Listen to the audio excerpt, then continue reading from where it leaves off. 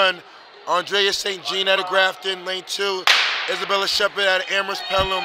Lane three, Palmerino out of Newburyport. Lane four, Rudolph out of Gloucester. Lane five, Gary out of Wilmington. Lane six, Tootin out of Weston. What a race by the junior. What a race. Peter D. Bold. And we know the rest of the state is watching, Shep. Oh, they know now if they didn't before. Second fastest heat here, Coach? Yes. What do you think they have to, to run to set the tone for the heat coming up?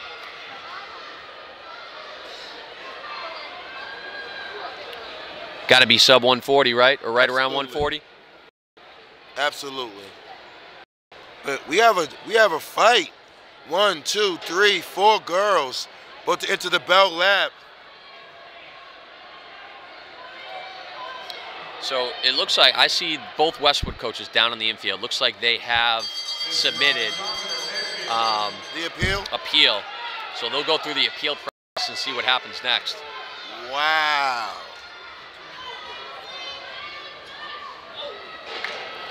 You, you would hate to see it be like a Jada Johnson thing where you a number top three athlete in the state. We don't see at the All-State meet. Same with Ava Vasile as well. Wow. Pete, Division Four has been wild.